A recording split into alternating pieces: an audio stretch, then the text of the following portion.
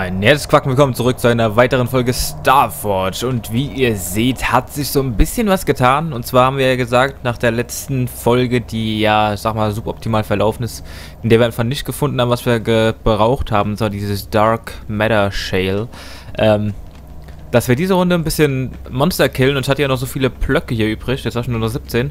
Und habe hier einfach schon mal so ein bisschen weitergebaut. Jetzt gar nicht sonderlich viel. Habe hier einfach die Wand weitergezogen, den Boden hier dann für den Fabrikbereich komplett eingefärbt. Wie gesagt, Bett kommt hier noch weg. Noch eine weitere Kiste gemacht. Da tun wir nämlich jetzt unsere Werkzeuge, die, die wir nicht brauchen, rein. Ähm, habe hier hinten schon mal ein Tor gemacht.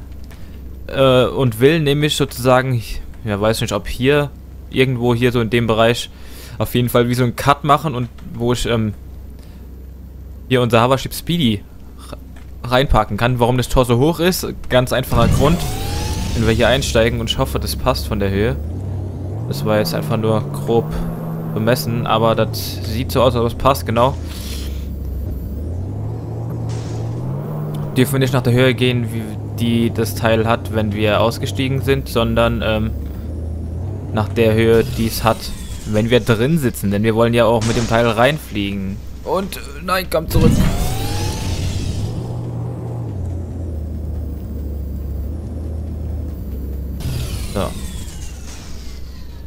Sehr schön. Genau, die 17 Blöcke behalten wir. Tools packen wir jetzt gerade mal hier in die zweite Kiste, die wir angelegt haben. Machen wir gerade mal die Tür zu.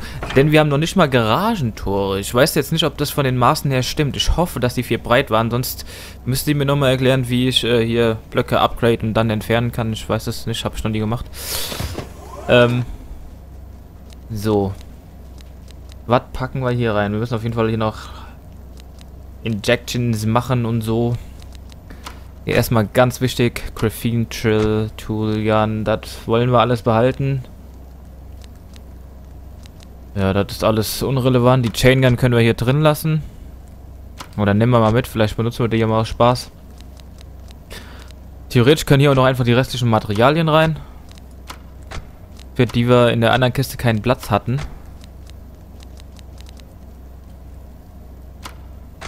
Weil hier haben wir ja mehr als genug. So, ja, zack, zack.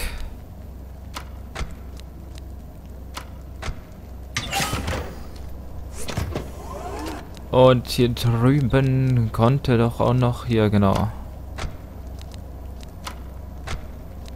Was war das? Ne, Gravel, das ist ja wurscht. Das braucht ja keine Sau. Würde ich sagen, ziehen wir los. Aber unsere Base, äh, die nimmt schon langsam Form an. Das wird, das wird. Hier dann irgendwo noch weiter nach oben oder das Ganze mehrstöckig. Irgendwo in irgendeine Richtung kann man das ja noch verlängern. Eventuell hinten raus oder was ja auch immer. Denn wir haben ja sozusagen jetzt hier die Wand eingezogen und das ist ja ein abgetrennter Bereich. Und wenn da hinten dran noch ein Raum ist, das äh, stört ja keinen sozusagen. Komm, dann nehmen wir unser Gefährt. Und einmal schnell zum Raumschiff.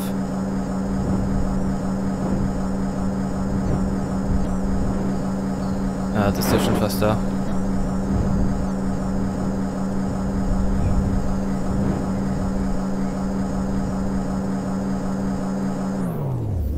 Außerhalb der radioaktiven Zone wollen wir bleiben. Ich weiß nämlich nicht, ob unser Schiff da auch Schaden nehmen würde. Oh, oder tut es generell? Freunde, ich habe da glaube ich einen Fehler gemacht. Ich kann mich noch daran erinnern, dass der liebe Minjas mir mal gesagt hat, dass die beiden, ähm, also er und der Check, losgezogen sind und einen Buggy hatten und der war, als sie zurückgekommen sind, weg. Und eventuell hatten die nicht diese Schutz Spire, wie auch immer, Protective Spire, wie auch immer sie heißt. Das ist mir dann doch ein bisschen zu riskant.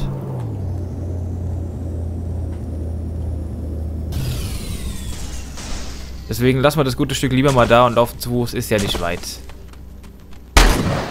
Nehmen wir unterwegs noch ein bisschen was mit.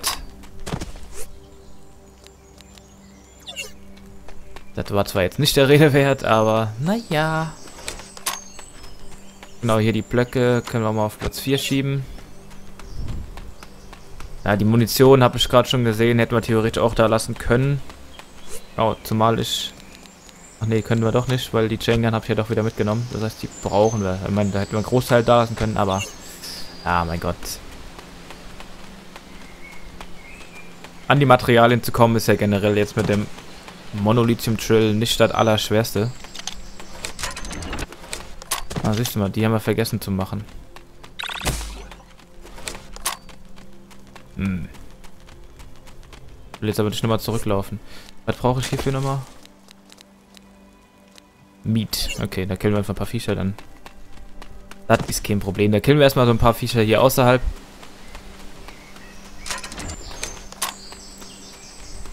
Da sind wir doch schon beim Raumschiff.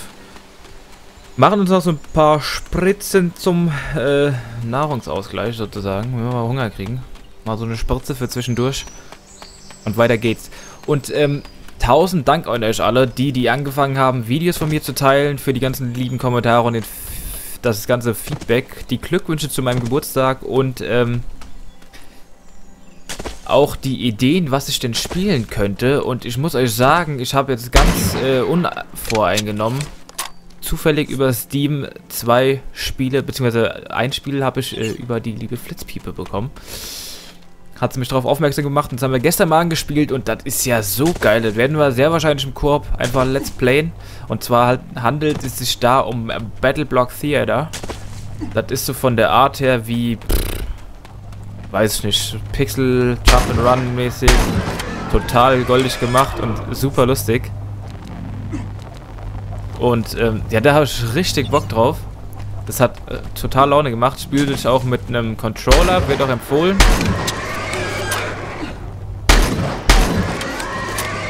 Super, jetzt kann ich euch beide wieder nicht... Äh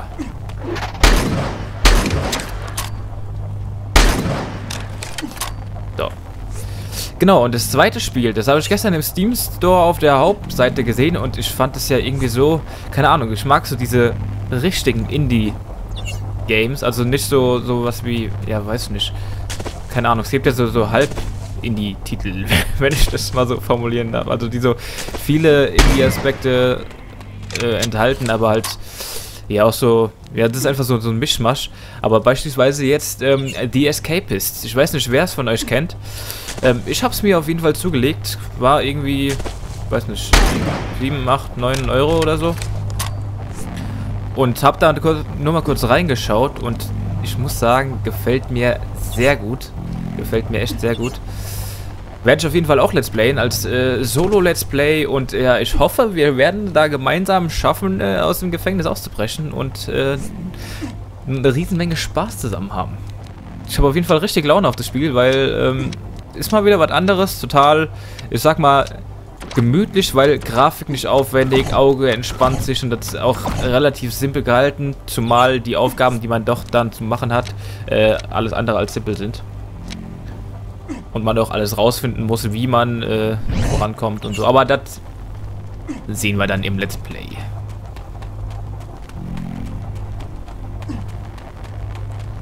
Hier geht es auf jeden Fall erstmal weiter, noch ein paar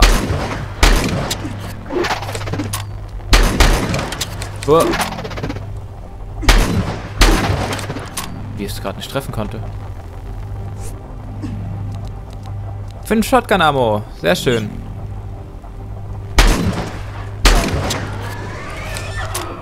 So, hier hatten wir noch einen Kollegen. Aber jetzt, wir gehen gleich ins Raumschiff rein, denn äh, da wollen wir ja ursprünglich auch hin. Okay, hier die Kisten, die nehmen wir natürlich noch mit. Das ist ganz klar. Hex Charge, Paint Gun.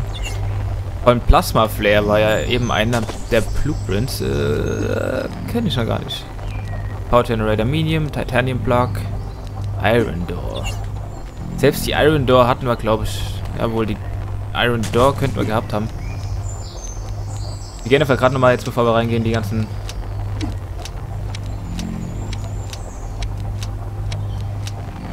Ja, hatten wir doch. Aber auf jeden Fall brauchen wir hier das Garagentor. Das äh, brauchen wir unbedingt.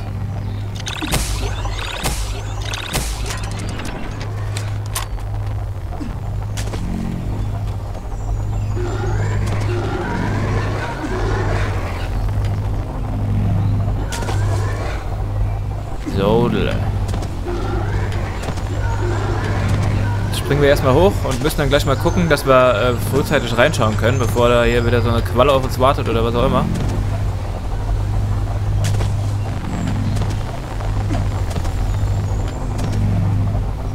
Sieht gut aus.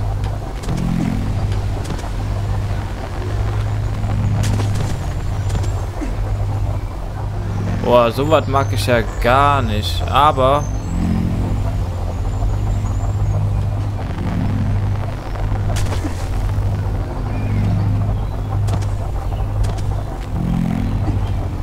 Das ist ein Scheiß. So, passt doch.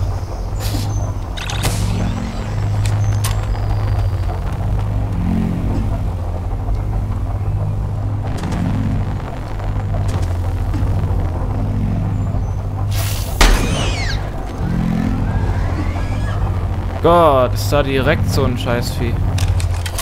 Muss ja nicht sein, oder? Graphene Trill. Ah, okay. Hallo? Specker Boots, Garrison. Hm. Wenig spektakulär.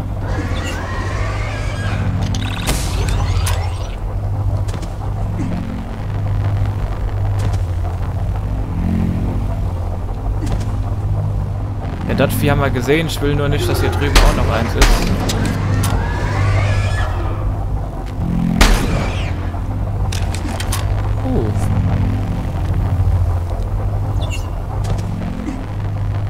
Ich hasse es, wenn ich die ganze Zeit das Gefühl habe, dass ich Schritte höre.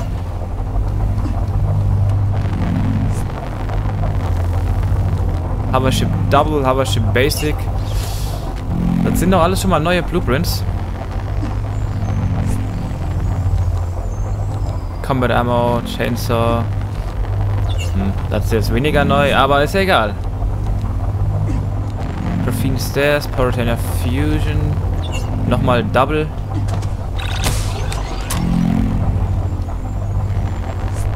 Und was haben wir hier? Spec Up Westner. Könnte zwar sein, dass wir das noch nicht hatten, aber das ist ja jetzt auch nicht so das Nonplusultra-Teil, ne?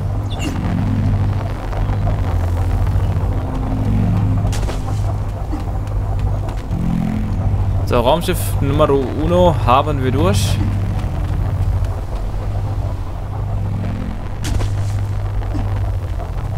Dann siehst du mal, hier waren sogar noch ein paar Blöcke. da hinten ist noch eine Kiste. Ja, gucken wir doch direkt mal. Äh, da sind sogar vier Kisten. Die nehmen wir doch alle mit. Eins, da hinten war noch eine, hier war noch eine und hier hinten war noch einer. Hier. Eins, zwei, drei. Hier. Stimmt, Monolithium haben wir jetzt noch gar nicht so äh, gefunden. Double Barrel Shotgun. Ja, die besitzen wir, wie wir sehen können. Hier oben ist die Nummer 4, genau. Steel Block. Cement Ramp. Assault Rifle. Iron Door. Ich hätte gerne mal Garagentor aus äh, Stahl, wenn möglich. Container Garrison, den haben wir schon. Hacking Device brauchen wir nicht.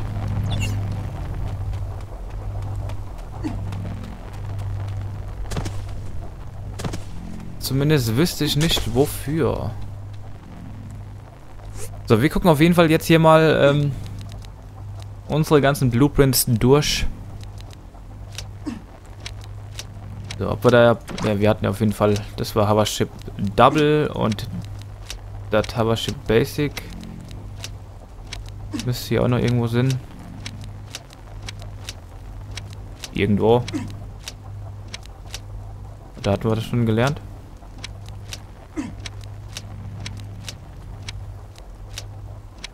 Scheint so.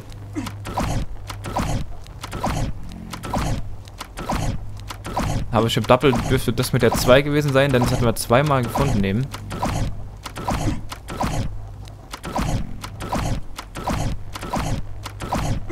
So, das heißt, wir haben jetzt hier unten...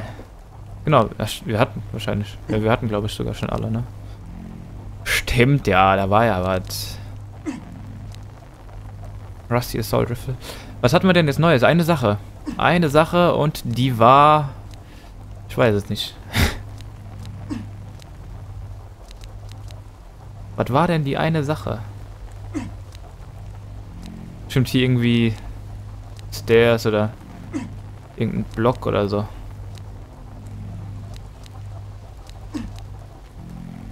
Plasma Charge. Ich kann es euch echt nicht sagen, das gibt es gar nicht hier.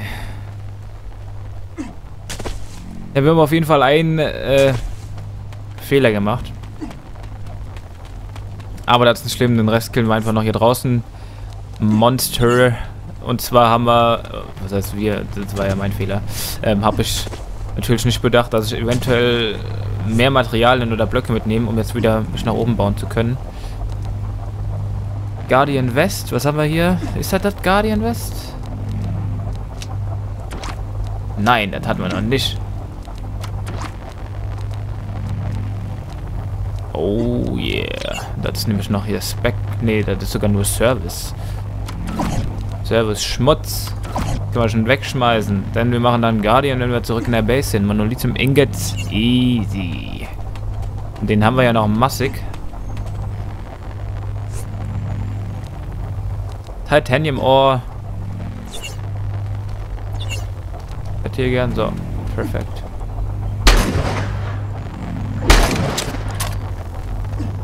Einmal zum Mitnehmen, bitte.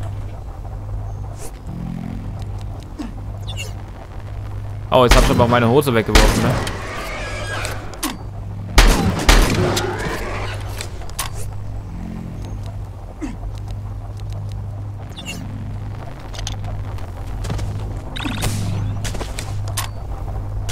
Hier liegt die Hose, ziehe ich. Ja, komm, ziehen wir es einfach nochmal an.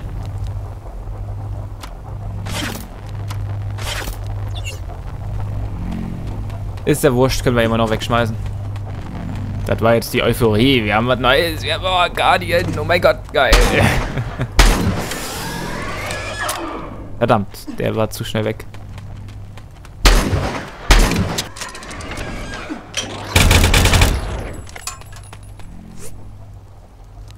Perfekt. Kabadabau. Chainsaw. Die nehmen wir jetzt einfach mal ein bisschen. Damit wir mal eine andere Waffe benutzen. Die lade ich zwar trotzdem hier schon mal nach, aber...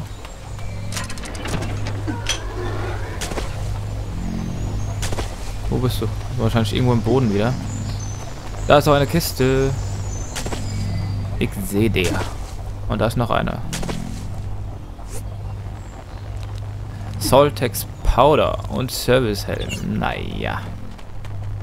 Was willst du hier hinter uns?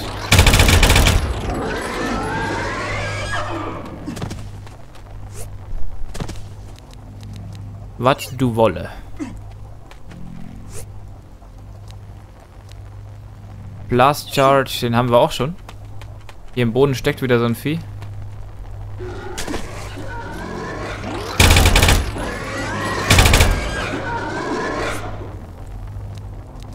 Sehr schön, haben wir noch erwischt.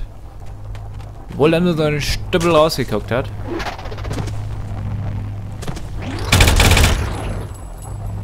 Der wird leider nicht nach unten fallen. Nee. Der Monster, genau. Der fliegende Augapfel. Na, so kann man das nennen. ich denke, wird auch wieder langsam dunkel. Wir sind bei 19 Minuten. Ich mache mich mal zur Base, gucke, ob wir noch was gefunden haben. Und dann machen wir uns auf jeden Fall erstmal hier die Graphene. Äh, Graphene, jetzt, was, was laber ich denn hier? Wir machen uns hier die Guardian-Brust. Denn das ist ja äh, nie verkehrt. Dann können wir gucken, was wir an Stein noch da haben können und direkt noch einfach, beziehungsweise mache ich dann zwischen den Aufnahmen, ein paar schöne Blöcke craften. Zum einen, um wieder in das Raumschiff zu kommen und zum anderen, um die Base weiter auszubauen und zu erweitern. Aber schreibt auf jeden Fall mal drunter, was ihr von den beiden Spielen haltet. Wie gesagt, Battleblock Theater und ähm, The Escapists. Findet ihr beide auf Steam. Könnt ihr eure Meinung zu da lassen, wie ihr die Spiele findet. Ich finde es so beides so, so Indie-Games, so wieder diese Pixel-Grafik und Battleblock Theater, wenn, wenn wir dieses Spiel starten und einfach nur das Intro euch zeigen. Also ich habe teilweise fast Tränen gelacht, das ist super lustig und total süß gemacht, das Spiel. Also, was heißt süß? Das ist ja schon hier ein bisschen weiß nicht, gemetzelt und so. Aber äh, ist halt so Jump'n'Run, total witzig. Und da passieren auch echt lustige Sachen. Ihr werdet es auf jeden Fall sehen. Das äh, ist schon mal gewiss. Hier werde ich auf jeden Fall noch Schrägen vorne dran setzen, denn das sieht ja nichts aus hier. So. Das ist ja, ah, nee, kann man nicht so lassen. So. Den Oschi laden wir hier mal nach. Dann brauchen wir hier Monolithium Ingots. Gehen hier rein und craften uns unser Guardian West. Jetzt können wir auch die Käsekacke hier wegschmeißen. Und haben auch unser West an. Und boah, wir sehen voll aus wie so ein Koloss. Äh, Koloss. So. Ja, das Einzige, was wir noch brauchen, sind ähm, Guardian Hosen. Die haben wir nicht mal bei Spec Ops und natürlich äh, brauchen wir trotzdem noch äh, Garagentore, denn aus Holz wollen wir das Ganze hier nicht gestalten, mit Sicherheit nicht. Aber naja, das äh, kriegen wir bestimmt auch noch hin. Da bin ich auf jeden Fall sehr zuversichtlich. Und ja, hier weiß ich schon nicht, da wollte einfach wie so ein Guckfenster, wollte hier eine zweite Ebene auf der anderen Seite reinbauen. Oder hier, wer weiß. Dass man da so durchgucken kann, das finde ich ganz toll.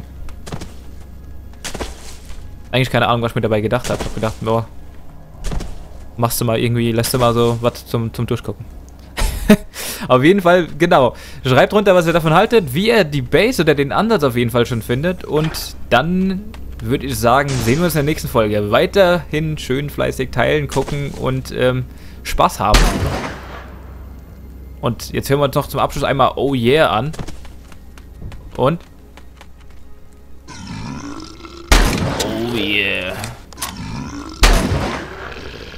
Und damit macht's gut. Tschüss.